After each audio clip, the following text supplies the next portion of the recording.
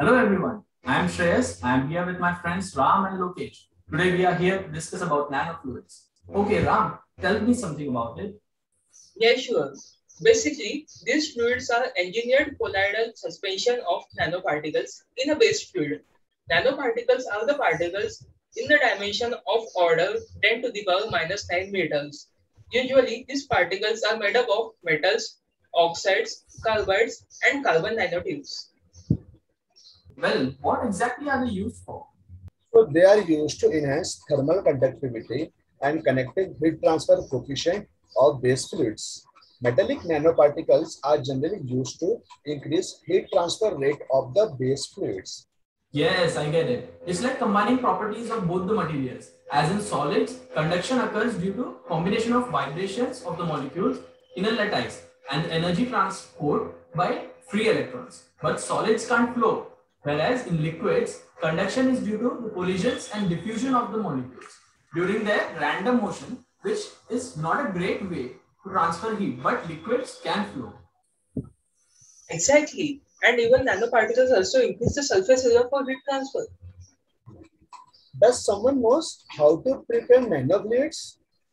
No worries. Now we have Watson to help us with that. Watson? Yes, sure. There are two methods of preparing nanofluids. First, two-step method. This method utilizes nanoparticles which are initially in form of dry powder. Ultrasonic vibrators are generally used to stir nanopowders with base fluid. Agglomeration is a major issue in synthesizing nanofluids. Frequently use of an ultrasonic vibrator decrease particle agglomeration. However, the two-step method is recognized as a most economical process for producing nanofluids as they are produced on large scale. It is suitable for producing oxide nanoparticles. The second method is the one-step process. The one-step process simultaneously makes and disperses the nanoparticles directly into the base fluid. This process is favorable because it prevents oxidation of nanoparticles. Drying, storage, transportation, and nanoparticles dispersion are avoided in this method to minimize nanoparticle agglomeration and increase fluid stability thus reducing the cost of production. Just to make it simple, agglomeration is the sticking of particles to one another or to the solid surfaces. Are there any classification of nanofluids?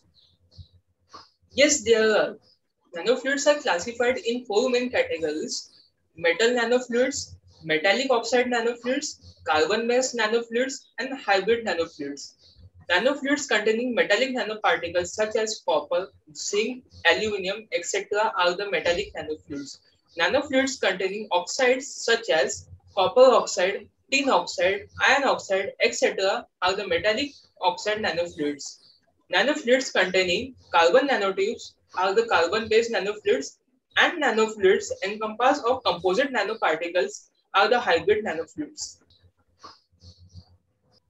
Okay, now Watson, tell us few thermophysical properties of nanofluids. Here you go. The first property is viscosity. Viscosity in general is the internal resistance force for the fluid and hence it is an important parameter for all heat transfer applications.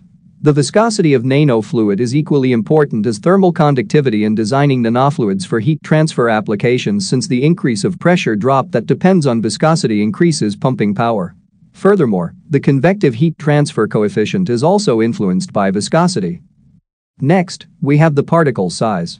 The effect of particle size on nanofluids became a debate since contrary findings were published by researchers. For nanofluid of Al2O3 plus water and TiO2 plus water, larger the particle size higher the viscosity.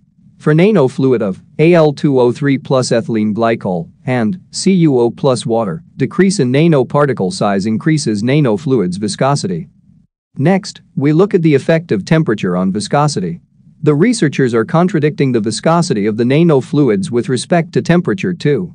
Ethylene glycol or water-based CuO, Al2O3, and SiO2 demonstrate that viscosity decreases exponentially with rise in temperature. In contradiction to the above water-based carbon nanotubes, nanofluids showed an increasing trend in viscosity with respect to temperature. Well, now we know how viscosity and its attributes affect the nanofluids. Now tell us something about the thermal conductivity of nanofluids. The enhanced thermal conductivity of nanofluid is one of the important factors which affects convective heat transfer of nanofluid. Hence it is imperative to study the thermal conductivity of nanofluid to design a good heat exchange fluid. A few factors that affect the thermal conductivity are First, particle material. Example silver nanofluid has the highest thermal conductivity compared to other nanoparticles. Second, particle shape. Investigation on thermal conductivity of SiC nanoparticles of spherical and cylindrical shapes was done.